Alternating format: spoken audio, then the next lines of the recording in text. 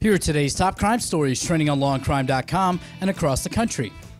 A woman in Philadelphia was arrested for killing her 11 month old baby after she allegedly breastfed the child with drugs in her system.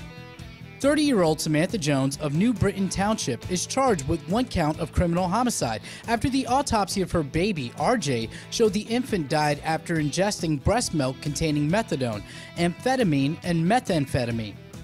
The woman reportedly described herself as a drug addict to authorities, and her other two year old son is in his father's custody. Jones is being held in lieu of $3 million bail. A police officer and elderly woman in Massachusetts were both killed by the officer's service weapon after an attacker was able to take the officer's gun during an altercation. 42 year old officer Michael Chesna was in a car pursuit with suspect Emanuel Lopes before Lopes wrecked his vehicle and fled on foot. In the ensuing chase, Lopes struck Chesna with a rock and took his firearm, fatally shooting the officer in the chest and head. According to authorities, Lopes then fatally shot a woman in a nearby residence before being arrested. Lopes now faces two counts of homicide.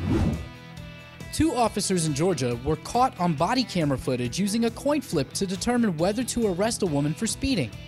The officers Kristen Wilson and Courtney Brown of the Roswell Police Department can be seen on video discussing whether to arrest or ticket the driver, Sarah Webb, who was doing 90 miles per hour in a 45 mile per hour zone.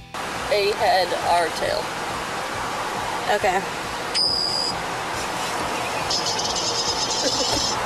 This is tail, right? Yeah.